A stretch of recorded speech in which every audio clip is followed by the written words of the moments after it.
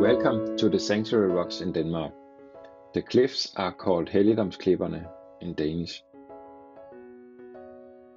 We have visited Bornholm many times, and one of the places that always impresses us are Sanctuary Rocks.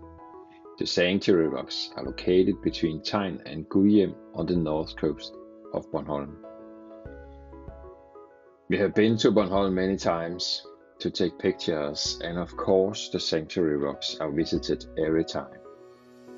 We have made this small video to inspire you to also visit the area and learn more about Bornholm. The sanctuary rocks is the most striking rock area in Denmark and Bornholm, with dramatic cliffs of up to 20 meters high. Over thousands of years, the wind and waves have eroded the rocky coast and carved long canyons into the bedrock.